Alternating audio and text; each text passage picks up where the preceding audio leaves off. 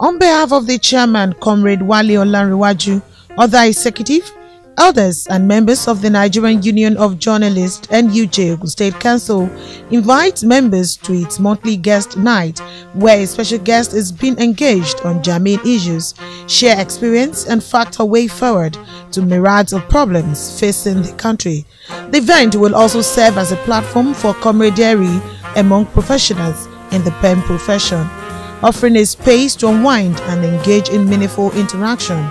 Chief Economic Advisor and Commissioner for Finance in Ogun State, Dapo Okubadejo, is our guest for the month of February. His efforts have led to numerous achievements, repositioning Ogun State as a front runner and setting the ISEYA mantra as a benchmark for others. Date is Wednesday, February 28, 2024.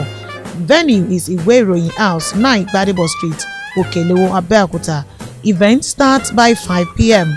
Announcer Comrade Bumi Adigun, Council Secretary.